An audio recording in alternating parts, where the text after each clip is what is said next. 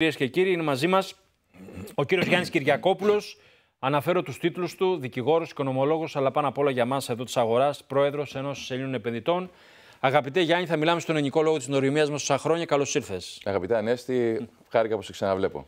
Λοιπόν, ε, τα λέμε τακτικά και θα τα λέμε γιατί ξέρω ότι είσαι ένας άνθρωπος ο οποίος πάντα βλέπει μπροστά και δεν έχεις αυτή τη μίζερη εικόνα που έχουν αρκετοί που έρχονται και τους πιάνει το κεφάλι τους και λένε τι μας βρήκε, τι μας βρήκε.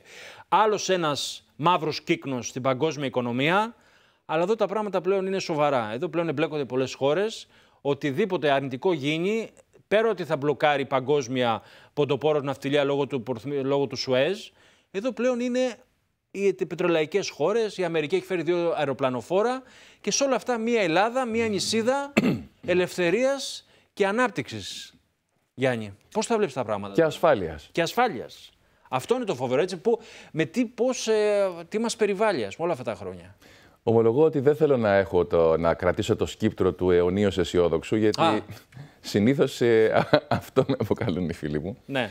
Ε, θα ήθελα να θυμίσω κάτι στους φίλους. Καλημέρα σε όλους τους φίλους και που μας ακούν.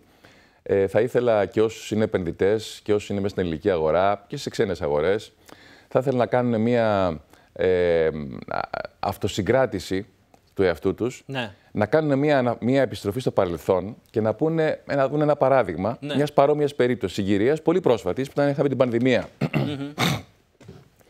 Ξέρετε, εμείς ε, οι άνθρωποι των, που παραρθούμε τα γραφήματα, παρότι είμαστε νομικοί, όσοι αγαπούμε την αγορά, δεν μπορούμε να αγαπούμε την αγορά. Τα βλέπουμε τα γραφήματα. Κοιτάμε μερικές φορές αυτά τα περίεργα γραφήματα στους στους ε, δείκτες και βλέπουμε, ας πούμε, ένα χαρακτηριστικό.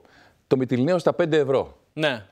Λοιπόν, ε, πότε έγινε αυτό, όταν είχαμε την κορύφωση του φόβου της πανδημίας, το Μάρτιο του 2020, όταν πλέον όλο ο παγκόσμια κοινότητα του πλανήτη, εμείς δεν μπορούσαμε να κυκλοφορήσουμε. Ναι, έξω. κλεινόταν όλοι στα σπίτια τους. Όλοι στα σπίτια τους. Λοιπόν, κάποιοι λοιπόν είχαν την έμπνευση εκείνη την εποχή και να σκεφτούν ότι αυτή η κολοσσία για τα ελληνικά δεδομένα εταιρεία δεν μπορεί να καταστραφεί, δεν μπορεί να αξίζει τόσο. Έτσι.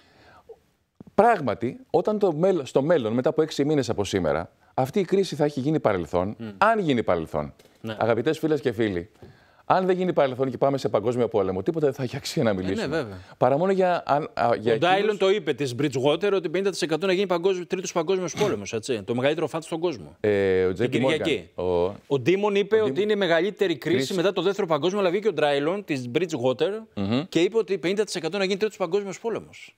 Ωραία. Λοιπόν, σε αυτή την περίπτωση, λοιπόν, επειδή ακριβώς δεν ξέρουμε αν θα ζούμε αύριο το πρωί, και αυτό μας οδηγεί στο εξής. Αυτοί οι οποίοι λοιπόν έχετε χωραφάκια και έχετε κατσικούλες ή έχετε να μπορεί να φάτε τα βουλάκια σας, θα επιβιώσετε.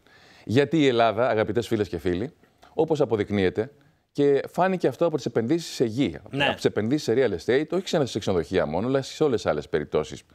Ξέρετε πάρα πολύ καλά ότι funds και Ισραηλινά αλλά και Αμερικανικά και άλλα επενδύουν σε ε, αγροκτήματα πάνω στη Βόρεια Ελλάδα και αγοράζουν χιλιάδες στρέμματα εκτάσεων. Αυτό κάτι σημαίνει. Έτσι. Αυτό σημαίνει λοιπόν Όπως ότι... και η απόβαση διακόπτω Ιρλα... ε, ε, Ισραηλινών και Ρώσων ε, στην Κύπρο, όπου γίνεται Απόβαση. μεγάλη απόβαση. Απόβαση.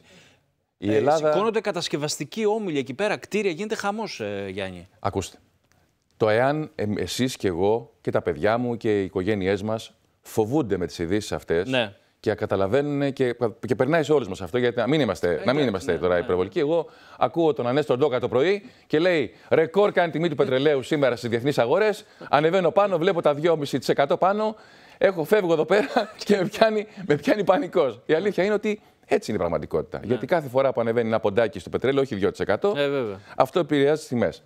Η Ελλάδα σε αυτή το διεθνή κικαιώνα, σε αυτό το διε- διεθνή εμπόλεμη κατάσταση, δεν ξέρουμε πώς θα εξελιχθεί, γιατί δεν θέλω, να, με- ε, δεν θέλω να, να σας πω ότι παίρνω κάποια χάπια το πρωί για, τα οποία μου κάνουν, με δημιουργούν παρεστήσεις. Πράγματι είναι πολύ επικίνδυνη κατάσταση. Όμως η Ελλάδα σε αυτή τη φάση είναι μια νησίδα ασφαλείας. Έτσι. Δεν θα είχαμε απόβαση κεφαλαίων, όπως είπες, και στην Κύπρο και στην Ελλάδα Ναι. και Ισραηλινών κεφαλαίων, όπου η Ελλάδα φαίνεται για τους Ισραηλινούς πολίτες μας, αλλά και για τους άλλους, οι οποίοι αυτή τη στιγμή ξεσπιτώνονται και φεύγουν και έρχονται στην Ελλάδα, Ναι, ναι. αν δεν ήταν ασφαλής χώρα η Ελλάδα. Θεωρώ ότι δεν έχουμε ούτε τρομοκρατικό κίνδυνο, έτσι, πιστεύω. Και έτσι λοιπόν πιστεύω ότι όταν περάσει, για να μιλήσουμε για τις χρηματαγορέ και τις κεφαλαγορές, όταν περάσει αυτός ο κίνδυνος, έχουμε μπροστά μας τα καλύτερα. Πράγματι ήταν ένα πολύ δυσίωνο, πάρα πολύ άσχημο καλοκαίρι. Πράγματι, όταν μιλάγαμε την άλλη φορά, βλέπαμε οπωσδήποτε αισιόδοξα την κατάσταση όπως εξελίσσεται. Ε, σίγουρα ήταν υπερτιμμένη η αγορά στις 350 μονάδες. Σίγουρα είναι κατά τη δική μου ταπεινή γνώμη και δεν θέλω να πάρω κανέναν στο λαιμό μου, κανέναν να επηρεάσω. Άποψή μου είναι αυτή η προσωπική. Είμαστε πάρα πολύ φθηνά εδώ. Δεν βλέπω την αγορά μας ναι. να παρα... Αν γίνει κάποιο βία επίθεση κλπ. Προφανώς δεν θα μιλάμε για αγορά, θα... δεν υπάρχει, ναι, δεν μπορεί ναι. να Και θα διαλυθούν τα πάντα, ναι. θα Αλλά σε λόβ γενικώς. Παρατηρώ και για αυτούς που βλέπουν τεχνική ανάλυση και έχοντας τώρα εξαγοράσει και μια μικρή χρηματιστηριακή την Αρκαδική ΑΕΠ, δεν, ναι, είναι διαφήμιση, απλώς την αναφέρω καλά το κάνεις, μια μικρή εταιρεία. ναι, ναι. Εγώ, ε, φίλες και φίλοι, όσοι με ακούτε, ε, δεν ξέρω αν είμαι αθεράπευτα αισιόδοξος. Σε αυτή την κρίσιμη φάση προχώρησα στο επενδυτικό μου βήμα το επόμενο και θεωρώ ότι είναι μια καλή συγκυρία. Πράγματι, κάποια στιγμή θα βλέπετε τι τιμές αυτές, ε, το χρηματιστήριο, της ΕΧΑΕ, τι τράπεζε κλπ. κλπ. Α μην αναφέρω μετοχέ.